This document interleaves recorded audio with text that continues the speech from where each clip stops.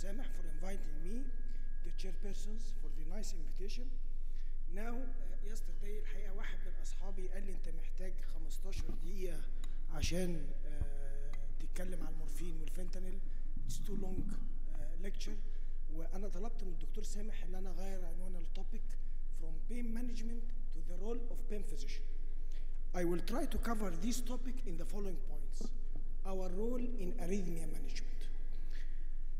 this publication عيان عمل مفيش حاجه طالعه عمل CABG surgery. After three days he get an electric storm. And he received pharmacotherapy failed pharmacotherapy failed DC shock. He received 70 DC shocks. 7 0 complete failure. They do for him stellate ganglion blockade and the result was immediate stabilization from single shot stellate ganglion block so when I read this, I think this is a computer error. But when, when I go to the publications, I find a lot of publication talking about the stellate ganglia in the management of arrhythmia. Single shot stellate ganglion block, bilateral stellate ganglion blockade, continuous stellate ganglion blockade, as well as stellate ganglia combined with bilateral sympathetic denervation. A systematic review and a meta-analysis, another systematic review, so a lot of publication about the use of stellate ganglia in the management of ventricular fibrillation. Finally, it is a concept that has been approved. Now the question is, what is effective? Is the local anesthetics more effective or radio frequency more effective? So now I am thinking in a human error, not a computer error. So I ask two questions to myself. Is it logic to do stellate ganglia for the management of arrhythmia? This is the first question and we have to go to the physiology. Sorry, we have to know the sympathetic and sensory supply to the heart. uh, all of us know that the sympathetic coming from the spinal cord, relay in sympathetic ganglia and goes to the heart. The first thoracic and inferior cervical ganglia are called the stellate ganglia. So the sympathetic supply coming from the spinal cord to the corresponding ganglia and ending to the heart. The most important point is that a sensory afferent coming from the heart, going to the spinal cord, going to the brain, is in association with the sympathetic. It's not only sympathetic, it is sympathetic as well as a sensory impulse. This will occur at the level of T5, T4, T3, T2, and T1, which is the inferior part of stellate, inferior cervical, middle, and superior cervical ganglia. So when we talk about the stellate ganglion blockade that is effective in the management of arrhythmia, we should deposit our local anesthetic at the stellate ganglia, aiming that this local anesthetic spreading down to T5 segment. If it did not spread downward, it will not be effective. As well as it goes up to include the middle and superior cervical ganglia. In bilateral cardiac sympathetic denervation, it is another surgical procedure. They remove the lower four uh, uh, T5, T4, T3, T2, and the lower half of T1 surgically. This is a very major operation, needs expert surgeon, expert anesthesiology, one lung anesthesia. And unfortunately, if you go to the lecture, they did left sympathetic denervation surgically, and the patient did not improve. After three days, they are going to do right sympathetic denervation. So a lot of uh, invasive procedure has been done. So the answer of the question, yes, it is logic and very desirable to do stellate ganglia for the management of VF. The second question, is it an easy block? Can the intensivists do this block or not? When you look to the ultrasound of the neck, most of intensivists are looking to the internal jugular vein, looking for the venous state and uh, the fluid status of the patient. But we, as a pain physician, we have a different look. We are looking to the prevertebral fascia as well as the longus colli muscle. And if we are looking here, we have the longus colli muscle. Above it, in blue line, is the fascia of the muscle. Above it is the pretracheal fascia. And in between the two lines is the stellate ganglion. So Samer Narouze, an Egyptian guy that's worked as a chronic pain physician in Cleveland, summarized the safety and efficacy of ultrasound-guided stellate ganglion blockade, and this is the exact location where you have to insert your needle. So do an ultrasound, you will see the pretracheal fascia, the longus colli muscle, and you inject your local anesthetic. giving a big volume, aiming to go down to T5 segment uh, uh, or T5 ganglia and going up to superior cervical ganglia.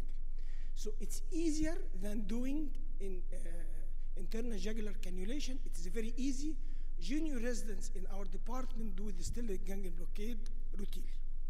But to see the extension downward, we cannot follow the extension of local anesthetic with ultrasound.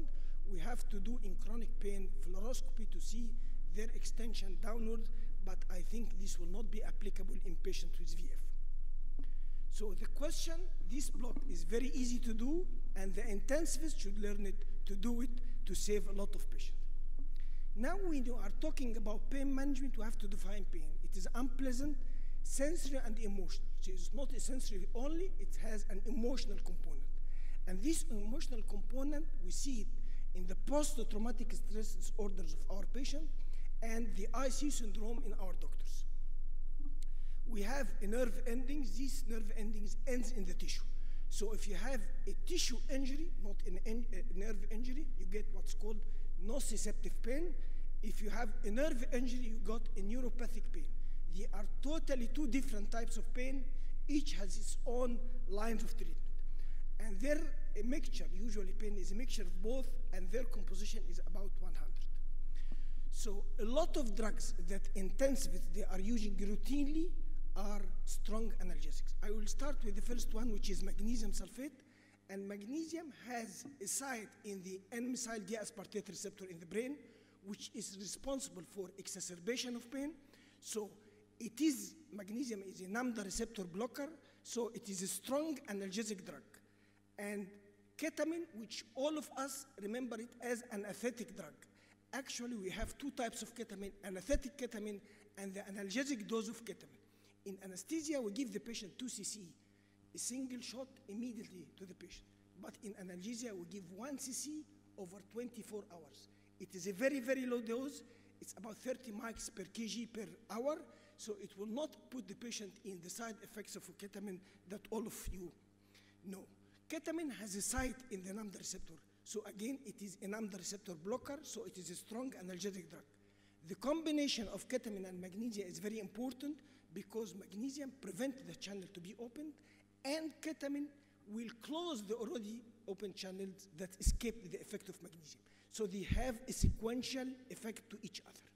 So the third drug is dexmedetomidine, and all of us know that is presynaptic alpha-2 agonist, decreasing the discharge of uh, norepinephrine from the presynaptic ganglia, and depending on its site, if it is in the cardiovascular system, produce bradycardia and hypotension, in the brain, sedation and exudasis, as well as analgesia, in the kidney, it might produce diuresis. So the most important point about dexmedetomidine that it produces natural sleep. If we give midazolam or benzodiazepine, the patient might obstruct and we get into serious complication. But with dexmedetomidine, rarely patients obstruct. So it's very important. So I believe three syringe pumps could be uh, adjusted for every patient to control both nociceptive as well as neuropathic pain. Lidocaine, which is an important drug for arrhythmia, it is important for treatment of neuropathic pain in the same dose, continuous infusion. So non-steroidals and opiates and steroids could be used at a lower dose to avoid the, the hazardous effect both on the kidney and on the conscious state of the patient. Now we are getting to the third point, which is the nerve blocks. We have to know each intensivist can do three nerve blocks very easily to control all the type of the pain.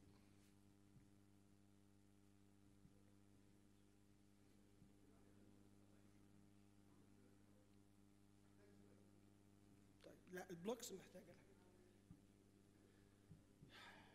Anyway, you put the ultrasound probe above the clavicle ياخدنا.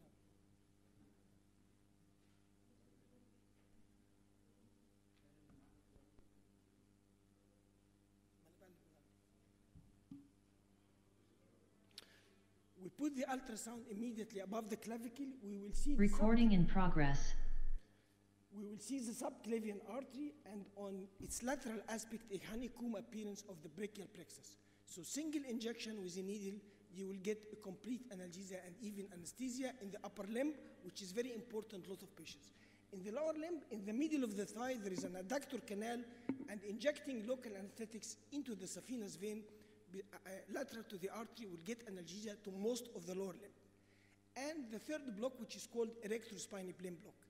And it is a very important block and then has been summarized in such publication. It is the only block you need to know. One block solves a lot of problems. And here you feel the spinous process of the thoracic vertebrae, go one centimeter lateral, go with your needle perpendicular. So now you are hitting the lamina of the bone. Now you are injecting the drugs. The drugs will be under the erectrospinal muscles. They block the posterior primary ramus. They relieve the spasm of the muscles, which usually a major problem. Injecting more dose, the local anesthetic goes into paravertebral space, blocking the spinal nerves themselves and producing a strong analgesia. If you inject 30 mils, you will get eight levels in the thoracic segment and four levels in the lumbar segment. So you can get a thoracic analgesia if you inject at T5. You get abdominal analgesia if you do your injection at T10 level, and you can get a pelvic analgesia again. A lot of publication about this block in multiple rib fracture, in weaning for mechanical ventilation for patients with multiple fracture ribs. It is very effective in all operations, whether this breast surgery, thoracic, lumbar surgery, uh, abdominal surgery, cesarean section, even hip arthroplasty. Now, intensiv- intensivists are more lucky because the radio frequency, which should be invasive long time ago, it's become nowadays non-invasive. And the third, the second generation non-invasive uh, radio frequency now is available. I talked about this publication, which is effective, the local anesthetics or radio frequency. So radio frequency used a lot of times for neuromodulation of our nerves. So these are simple machines. The idea is you have an active and passive electrode, a radio frequency current of about 1 million cycle per second coming from the active, hitting the passive, returning to the active. This, will create two things, radio frequency current as well as internal heating of the tissues. This heat is adjusted by the machine, so here we are adjusted at the same problem.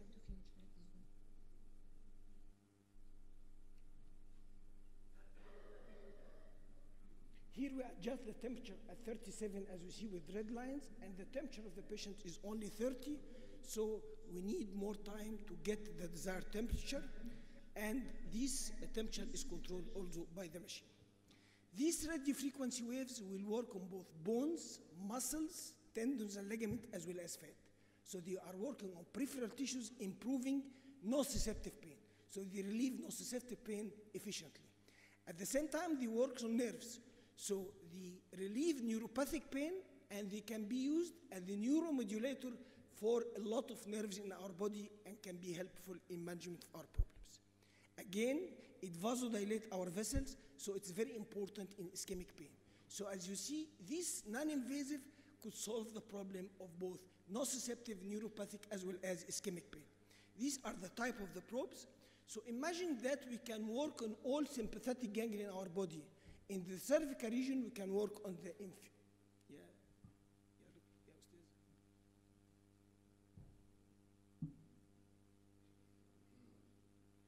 In the cervical region, we can work on the inferior, medial, and superior cervical ganglia.